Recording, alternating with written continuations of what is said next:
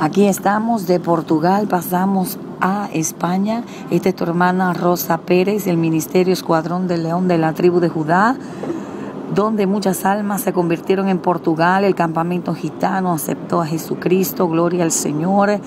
una palabra profética que el Señor nos habló, aleluya, bendito sea el nombre de Jesús, que vendríamos a la Europa, aleluya, y llegamos a Portugal y de Portugal a España, aquí estamos enseñándote España para que puedas ver la hermosura